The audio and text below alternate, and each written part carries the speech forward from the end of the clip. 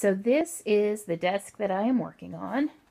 You can see we store all kinds of things underneath it and on top of it. So hopefully I'm going to be organizing this. You can see there's just some stuff thrown up there. But the big project that I'm working on is the desktop right here.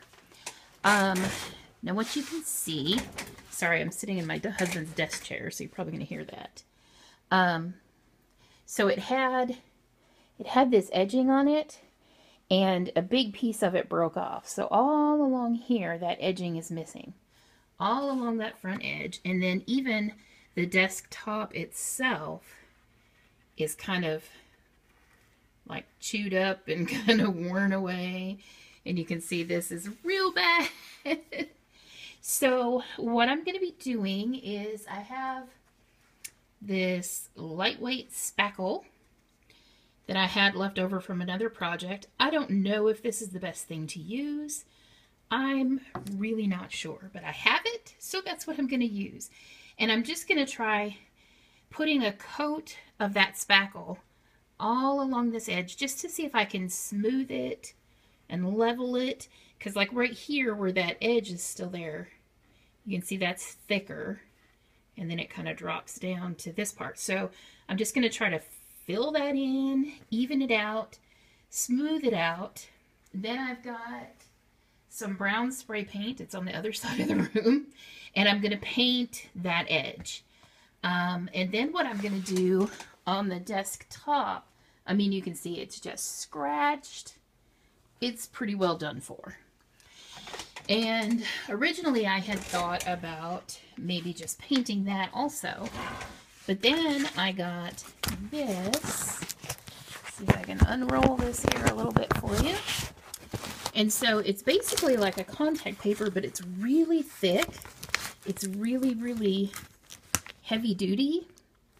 And it's got a really nice glossy finish, which I think is going to make it really nice for cleaning up anything that might spill. So you can see here, it's basically just like a contact paper. And it's got, it's kind of like a, a marbly or granity looking surface with just different shades of brown. So I'm hoping that this is going to work and that it's going to look really nice. Um, it is, I ordered this online. I can't even remember where I got it from exactly. I'll try to put it in the description box if I remember. I think I got it on eBay. Um, but it it's actually in two separate pieces. You couldn't buy just one big piece. You could only buy, I don't remember the size of the sheet exactly.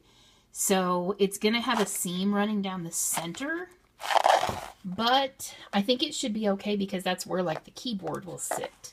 So I don't think it's going to be very, very noticeable. So I'm going to get started on this and I will check back in and let you see what it looks like after I get some of the spackle on and we'll see how it does. Okay, so I've got the spackle on.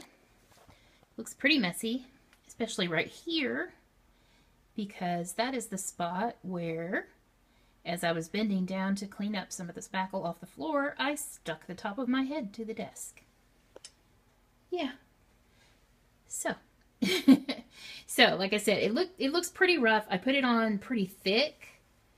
Um, in most places, I can. I mean, there's still a few spots where you can like see the desk underneath it.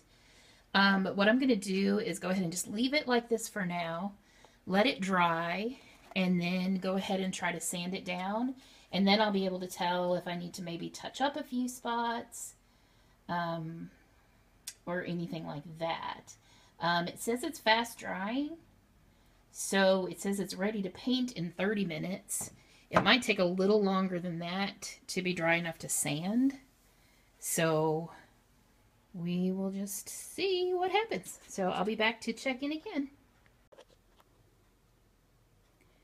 Okay guys, so here is the top of the desk. Um, I did the spackle. I tried sanding it a little bit, but this spackle said you did not need to sand it. And apparently that means you cannot sand it because it was just too soft. It would not, every place that I tried to sand it, it just kind of crumbled and peeled off. So I ended up just getting it as smooth as I could and then I kind of left it, but you can see it's pretty rough. It doesn't really look very nice. This is the front edge. So in the future, I may end up trying something else to clean that edge up, but I'm going to go ahead and put that adhesive that I got, like contact paper stuff on here, and we will see how that turns out. Um, what I did is I, I had some brown spray paint, so I sprayed that over the spackle just to try to make it blend in. I mean, you can see like chunks of it are falling off when you touch it. Um, so what I may end up doing is maybe going and getting some of that edging, that laminate edging, and there is some of the laminate edge from about here back to the corner, and then on this side from about here back to the corner. So what I could do is just pull all of that off and then just put a whole new laminate edge on. I'm not sure if I'm actually going to do that, but in the future I would like to do something to make that a little nicer.